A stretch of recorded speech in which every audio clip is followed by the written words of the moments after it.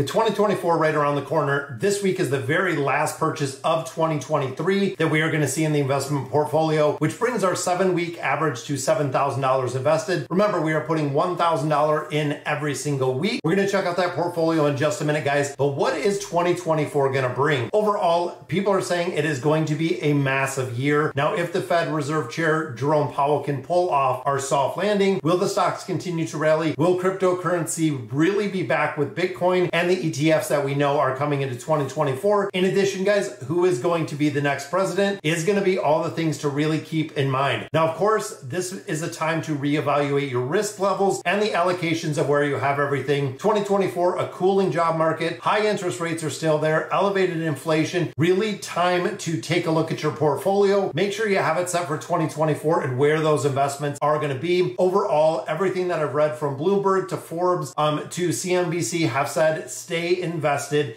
Now, the only part of the investment portfolio of what you want to put into the market is something that you're willing to invest for about three to five years. Now, that is really the return on investment, guys. You want to see over a couple years. Now, for uh, most of us that are in the market for an incredible long time, actually from the time that you can contribute into the time of retirement, you will see the compounding interest. Now, as the Fed continues to cut interest rates, and they are talking roughly three interest rates cuts going into 2024, which means it is going to help us out a lot when it comes to the market. As soon as rates start coming down, CD rates start coming down, the um, bond yield starts returning to a normal level. We're going to see a lot of money flow back into the stock market. But in my opinion, guys, we're going to see a lot of money go back into um, not only the stock market, but also the crypto markets, which, of course, with next year and the Bitcoin halving, we're going to have to see exactly what it does. In addition to the ETFs, I think personally that next year is going to be a very, very big year for Bitcoin. Because of that, I am roughly putting 8 to 10% of the portfolio that we see here. When the ETF is out, I'm going to invest it. Now, I'm not actually going to put it into Bitcoin. I, am considering that right now, but I think overall, I'm going to go ahead and put it into um, the ETF when it is available, when it is approved, which again, speculation is saying that it is going to be January 4th. Now, also with this, guys, keep some cash on the side. If there is a big market dip, I know really timing the market versus time in the market makes a big difference. If you're not dollar cost averaging, have a little bit of money on the sideline just in case what goes happen and if things go crazy, guys. And also rethink crypto. Again, with the ETFs that are going to be coming out, they are my absolute favorite, guys. Bitcoin ETF should finally be released in 2024 making it super easy for not only institutional investors to invest in Bitcoin, but also for the average individual to invest in Bitcoin as well, which again is going to be super interesting to see what we get. So let's hop over, guys. We're going to go ahead and check out the portfolio, take a look at it and break it down. So let's take a look at it. All right, guys, so here we continue our debt-free journey. As you can see, our value is just south of 82K. So we are kind of making some crazy progression in just over two years with this portfolio. But you can see the gains, all-time gains, a little over 11,000. All-time return, 46.65% in two years. Now, this is super interesting, guys, and this is actually something that I want to look at because if you remember, even going back to the beginning of this, I have been doing dollar cost averaging for an incredible amount of time, which meant 2022 was a really bad year for the stock market, but we still invested all the way down. This is where a lot of people would drop out of the investing cycle. They would cash out a lot of the stocks, which drove the stock market down further and further. Now, I really use the mentality of dollar cost averaging, and I also use the mentality is when stocks are discounted or when the stock market is down, especially as significantly as 2022. For me, I put that in a position as that is one of the absolute biggest buy buying opportunities that we see is when the stock market's running a 20, 25% sale or discount, depending on the way you look at it. So again, then when the market recovered going into 2023, it has been and done incredibly well. Even looking again, we've been seven weeks in this. So even looking at the last week, guys, um, down here you can see we've had a little bit of a market gain overall. But then when you get into a month, you can see we're up about 5%, the money weighted return. Market gains about 3,400. We did get some dividends in there, and we still do have some other dividends that are coming in from our portfolio.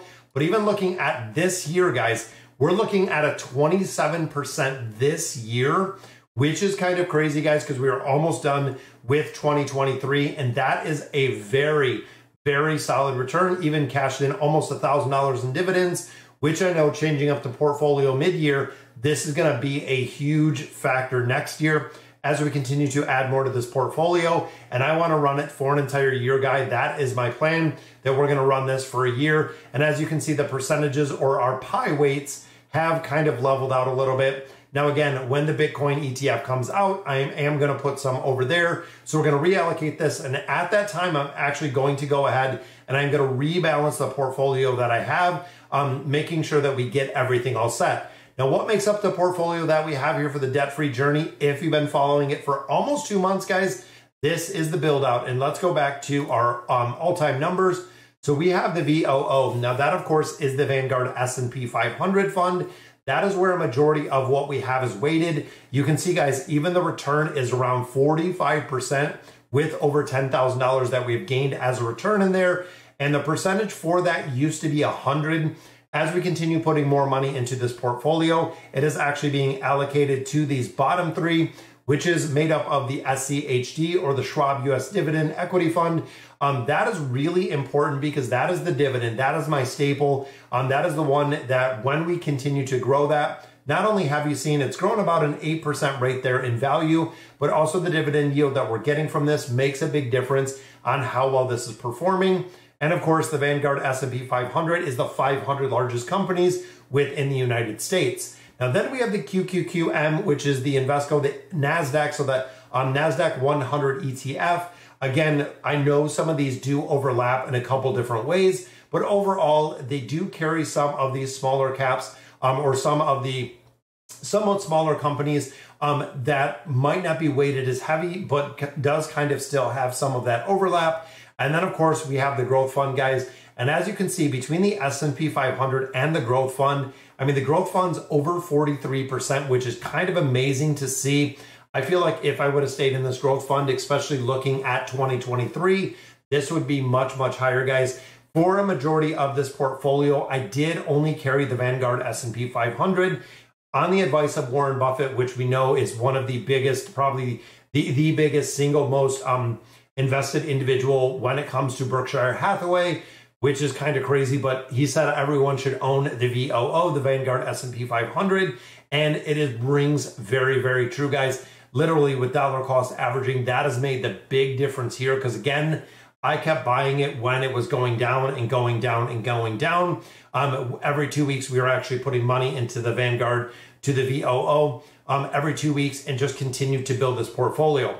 Now, like I said before, is we are going to probably allocate 8 to 10% of this when and if M1 Finance starts carrying that Bitcoin ETF, which we do want to see. As of right now, guys, I do not hold any individual Bitcoin at this point, but I know it's been fluctuating about a 42 to 45K mark, which means that when institutional investors get into it, I feel like the price of Bitcoin is just going to spike the video that I did a little bit earlier on the Bitcoin ETFs, the ease of the availability, and also financial institutions or institutional investors that are going to be investing in Bitcoin are going to make and have a really, really big impact. Now, overall, with this, guys, we haven't again been borrowing any money. We've actually made enough through YouTube and a couple other revenue sources that we're able to cover what we have been putting in here. And the funding history rate here, guys, we have put 45K into this this year alone. You can see from the 25, which we started this in 2021, small deposit there. We stepped it up here. 45 is what we're looking for, and that is what we are going to end this year with, guys. So pretty good to put our 45K in there. Now, of course, if we're looking to do this a full 52, we're about $7,000 short. We might have to borrow at some point if we can't make up the difference. But due to that, I have cut a majority of expenses that I have in, in their entirety, making sure that we can do the debt free journey and make sure we're following this, guys. And I'm using a majority, I, I mean, since we are almost entirely debt free at this point, short of a mortgage, we have been pushing a lot more into the investment accounts to really build it up before retirement. So, looking at the spreadsheet, this is also what we've kind of followed, guys. So, you can see the margin trading or what we have done with the trading deposits and 1226, which is today already put the money in the market. Is it, it is invested. We started this, I mean, what's that? Seven weeks ago, we were at about a 22% return. with the returns in the last couple weeks that we've been doing amazing. We're at a 46.65. Net cash flow goes from 65 to 71.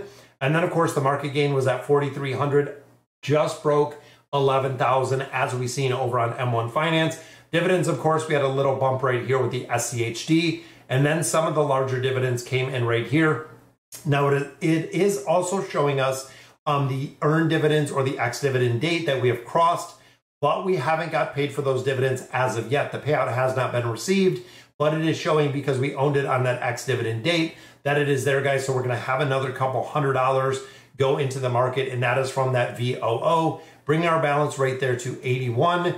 And the balance difference, and this is doing week to week. So if you look at the formula up here, guys, I kind of have the balance difference in the week to week. I minused out the thousand that we put in there, guys. So these were two monster weeks of actual performance, guys. You can see the 633, 707 week to week to week. Last two weeks of this were monster performance.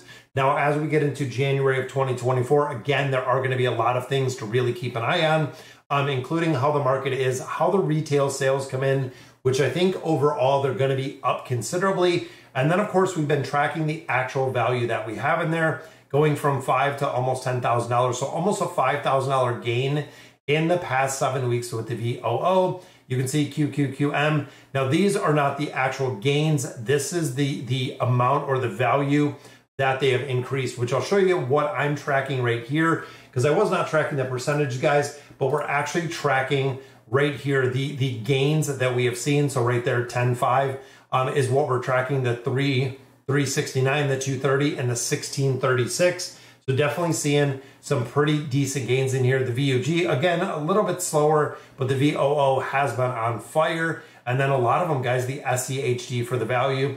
As we continue to put more in there, um, it's really made a difference to, to the growth factor that we do and see. So, guys, so that is going to do it for today's video. Let me know in the comments what you guys think. And as always, thank you guys for watching.